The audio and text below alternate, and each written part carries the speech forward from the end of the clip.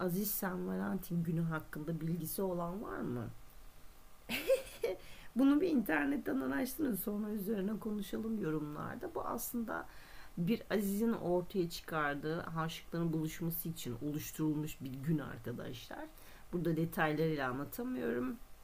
Biraz müstehcen konular var içerisinde. E, merak edenler Google'a yazıp San Valentin günü diye Aziz San Valentin günü diye bakabilirler. Yani bunun sevgililikle, sevgililer günüyle pek bir alakası yok aslında. E, bu tamamen e, size tüketici toplum e, oluşturmak amacıyla yapılmış olan bir çalışma. Yani daha fazla siz tüketebilin diye icat edilmiş günlerden birisi arkadaşlar. Yani illa birine çok pahalı hediye almanıza gerek yok. Yani birine derken özel biri kastediliyor burada yani sevgililer günü tırnak içinde adı altında. İlla çok böyle şaşalı hediyeler almanıza gerek yok. Üzerine emek verilmiş, e, beğenilerek hissedilmiş e, hediyeler de alabilir ya da hediyenizi kendiniz de yapabilirsiniz.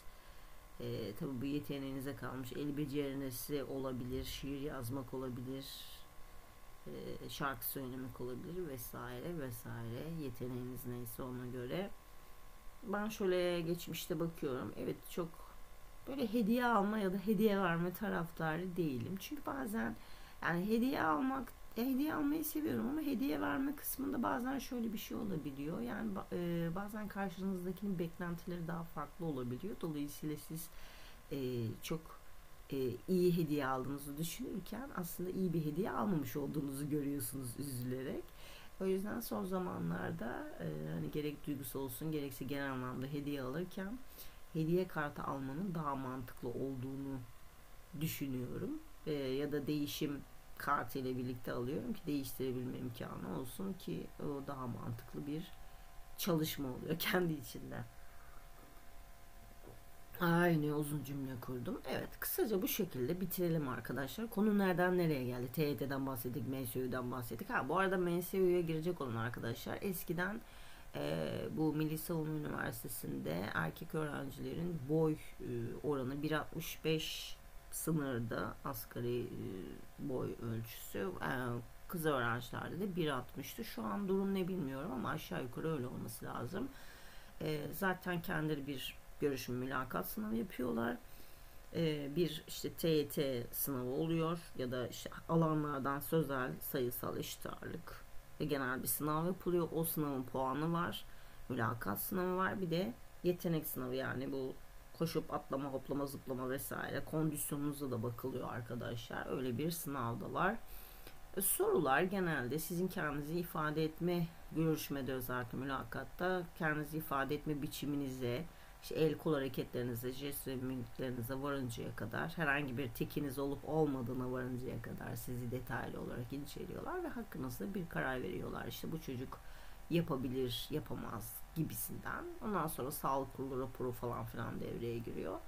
Ee, umarım isteyen arkadaşlar bu e, askeri sınavlara girmek isteyen arkadaşlar başarılı olurlar. Başarılı olmamaları için herhangi bir neden yok. Ee, ama Tabii iki türlü seçenek var. Ya başarılı olacaksınız ya olmayacaksınız. Ee, umarım başarılı olanlardan olursunuz. Ee, emekleriniz boşa gitmez, zayi olmaz arkadaşlar. Ee, hiç kimsenin emeklerinin boşa gitmesini istemem. Ama şöyle düşünün. Yani her dünyanın sonunda değil. İnşallah kazanırsınız ama e, aksi halde de, aksi bir durumda da çok fazla üzülmeyiniz. hayatta elbette ki karşınıza çok fazla seçenek, imkan vesaire fırsat çıkacaktır. Öyle düşünerek kendinizi e, rahatlatabilirsiniz. Yani bunu züğürt tesellisi olarak söylemiyorum.